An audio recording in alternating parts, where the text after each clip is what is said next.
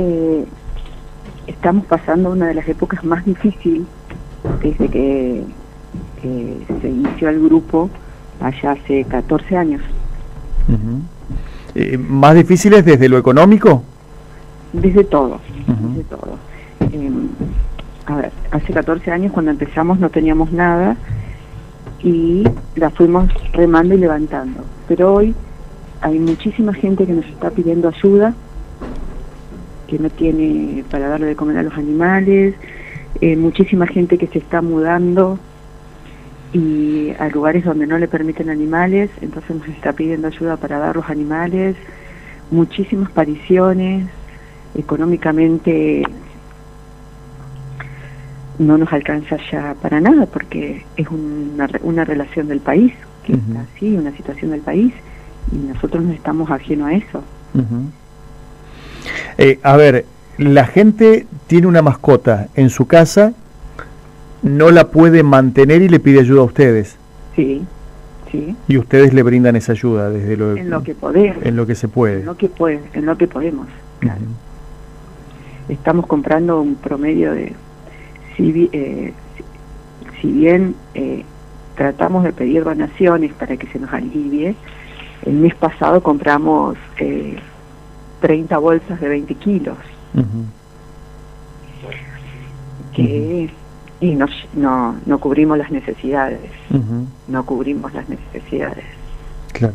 Mucha gente quedó sin que podamos ayudarlos porque no, no cubrimos las necesidades. Después hay algunos lugares donde nos, nos regalan fideos rotos, por ejemplo, eh, en algunas fábricas de fideos, los fideos que se caen al piso, que se rompen, no los pueden vender.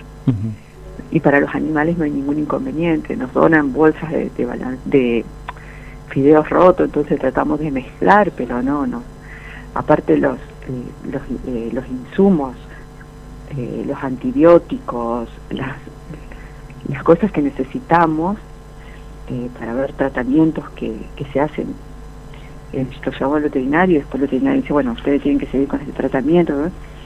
Se fueron realmente por las nubes. Todo está muy, muy caro. Bueno, a todo el mundo le pasa nosotros estamos igual. Seguro. Tienen un gasto fijo de, mantenimiento de veterinario también mensual, ¿no? Muy grande. ¿De, cuánto es este gasto, Eugenia? Y eso es relativo. Hay meses que pagamos 300 mil pesos, hay meses que pagamos 200 mil pesos. Eso es relativo, relativo a la cantidad de casos que hay. A la... Por ejemplo, ahora viene el verano y vienen los gusanos.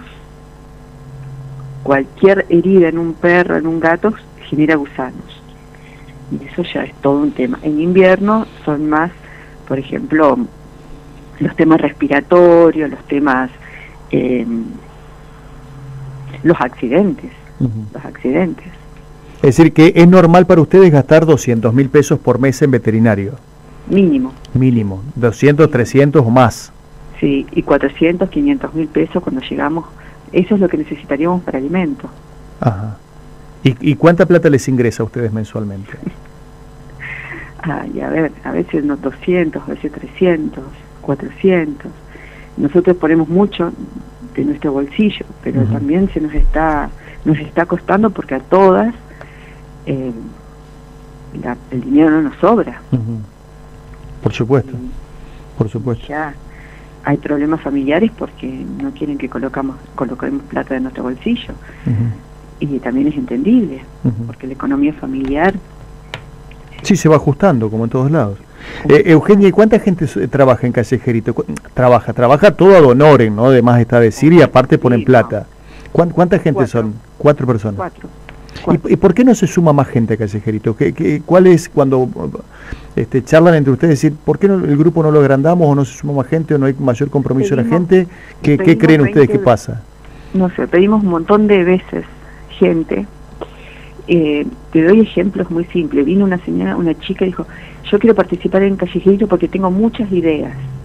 Está bárbaro las ideas, pero hay que trabajar para generar, para cumplirlas.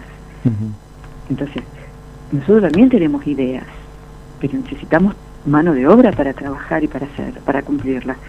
Y no porque yo trabajo, no porque yo tengo familia, no porque yo...